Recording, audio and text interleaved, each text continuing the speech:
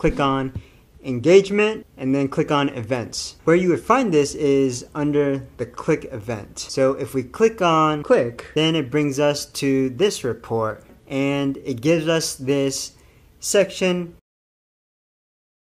So in this left navigation, click on explore and create a freeform report. In the dimensions section here, click on this plus icon and then look for link URL. So check that off and then in the upper right corner here, click on import. And then we'll drag the newly added dimension to rows. Now we'll also add a filter for event name and choose event name, match type and select exactly matches, enter click. Now this will update our report to only show us the outbound link clicks.